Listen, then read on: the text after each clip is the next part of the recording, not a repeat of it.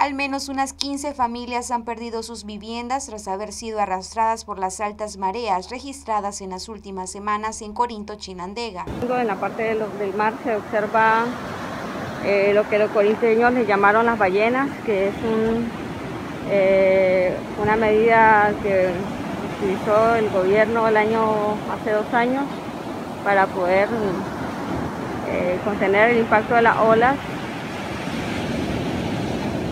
material pues que se trajo de afuera y, que se pensó que lograría pues mantener un poco el tema del oleaje.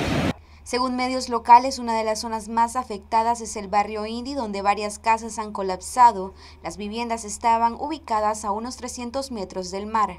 Se está aprovechando a, sacar un poco de material de lo que sí, quedó este colapso. Esto es escombro y, hierro, entonces estamos aprovechando ahí sacarle.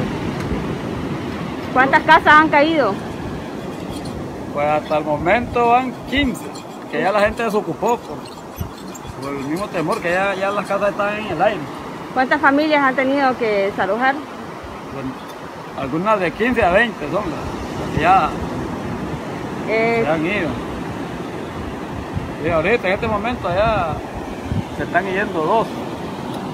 Y ya una parte de aquí ya, ya, se habían quitado antes de, que tuviera la otra marea más grande. Se esperaba una de 9.5, algo así, dijeron, vamos.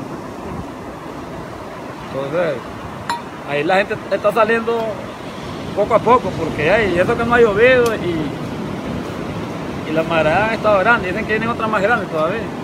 Según el Observatorio de Fenómenos Naturales OFENA, los altos oleajes se esperan este jueves y viernes, por lo que advirtieron tomar las medidas de precaución para evitar una desgracia. En relación a la marea, las mareas altas se esperan hoy a las 2 de la tarde con 24 minutos, con una altura de 8.9 pies a 2.71 metros. Mantenemos siempre la tendencia de posibilidades de efecto de mar de fondo que estará afectando las costas del Pacífico de Nicaragua y principalmente aquellas que están muy cerca del bajo nivel del mar como en el caso de Corinto, que puede tener algunas afectaciones muy severas al momento que está generándose esta.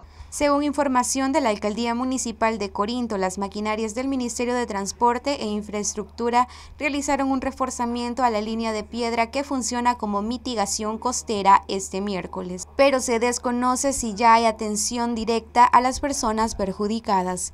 Para Noticias 12, Gabriela Solórzano.